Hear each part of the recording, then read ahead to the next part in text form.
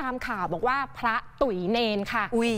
เออแล้วเรื่องถูกแฉเพราะว่าเนนบอกพระลวนลามอะอ้าวพ่อแม่ที่ไหนใครเขาจะยอมอะคะ ก็เลยพาลูกชายวัย 14 ที่บวชเนนนะคะ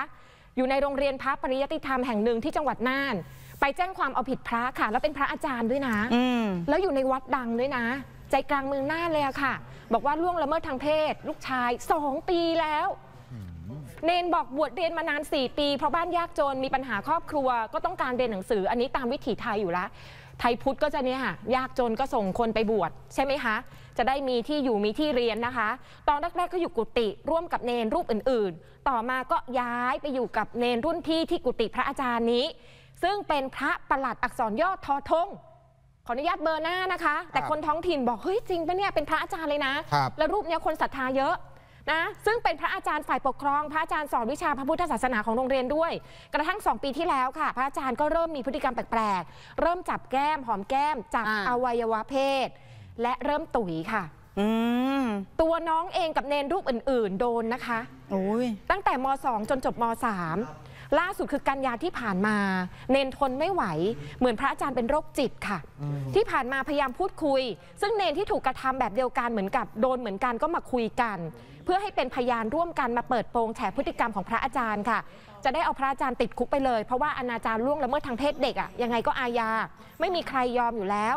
อีกอย่างหนึ่งจริง ๆ แล้วถามว่ากลัวถูกจับศึกไหมไม่กลัว อะก็กลับไปอยู่บ้านจนก็จนแล้วยังไงดีกว่ามาถูกล่วงละเมิดแบบนี้อืมแล้วก็แฉว่าเวลาพระอาจารย์อยู่ในกุฏินอกจากจะฉันข้าวกลางคืนดื่มเหล้าแล้วนะคะ นี่ผิดมากเลยนะ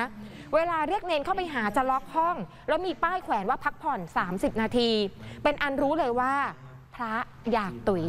เอาโอ้โหเขาก็รู้กันขนาดนั้นโอ้ส่วนที่ออกมาแฉเรื่องนี้ เพราะว่าเครียดมาก ถูกตุ๋ยไม่ไหวแล้ว อยากปกป้องเนนรุ่นน้องอื่น ๆ ที่มาบวชเรียนด้วย ก็เลยยอมเล่าเรื่องนี้ให้แม่ฟัง แล้วก็บอกว่าก่อนหน้านี้เคยขอย้ายวัด แต่ถูกพระอาจารย์เอาจุดอ่อนมาขู่ ทั้งเรื่องตัดพ่อตัดแม่อุปถัมภ์อะไรแบบเนี้ยค่ะ ยกเลิกทุนการศึกษาจะไม่ได้เรียนหนังสือนะ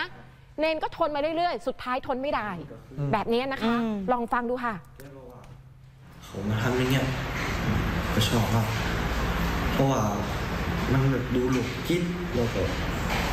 โลเชียแกเคยบอกว่าเออแบบถ้าบ่อยากเนี่ยก็คือบอกปฏิเสธมาอีกจะได้บ่อยากของผมปฏิเสธหลายรอบแกกับบอยอมอะแกกับผมเนี่ยก็ไม่ได้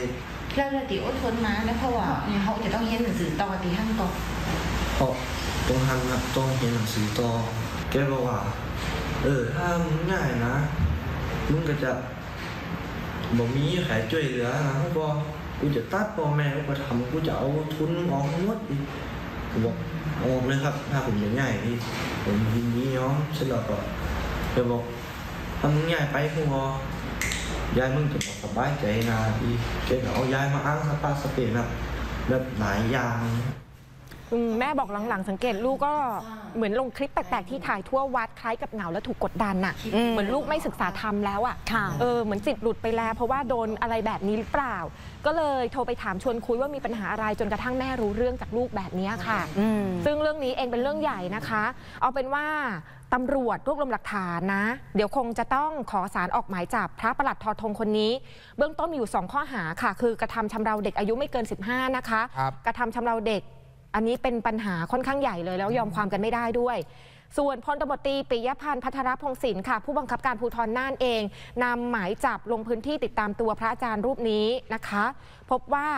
ล่าสุดไม่ได้สอนหนังสือครับคาดว่าน่าจะรู้ตัวและหนีออกจากวัดแล้วค่ะ อ่า ไปอยู่ไหนแล้วล่ะ นั่นนะสิ จากการตรวจสอบ 2 กันยาที่ผ่านมาถอนตังค์ออกจากบัญชีวัดล้านกว่าบาท โอ้ยโอ้ นี่บัญชีวัดนะผู้จัดการได้เองเลยเหรอเออการน่าจะมีชื่อสามารถเซ็นเบิกถอนได้หรือเปล่าเพราะเป็นพระปกครองด้วย เอาแต่ละแปลกนะ แค่รูปเดียวเหรอ เพราะปกติเวลาจะถอนเงินมันวัดมีเนี่ย ต้องมีคนรู้ถูก เออเรื่องนี้เดี๋ยวรอขยายผลค่ะเป็นเรื่องสำคัญมาก ส่วนเนนที่ออกมาเปิดโปงเจ้าหน้าที่ประสานบ้านพักเด็กครอบครัวจังหวัดน่าน พาไปตรวจร่างกายเยียวยาจิตใจนะคะ เดี๋ยวส่งไปจำวัดอื่นแทนค่ะเอออะคุณผู้ชมคะจากเรื่องพระนะคะ มาดูเรื่องผีกันบ้างดีกว่าค่ะ คนแถวนั้นเนี่ยเขาบอกผีแน่ๆเลยเพราะชาวบ้านรู้ข่าวไวเข้าใจง่าย กด subscribe ข่าวช่อง 8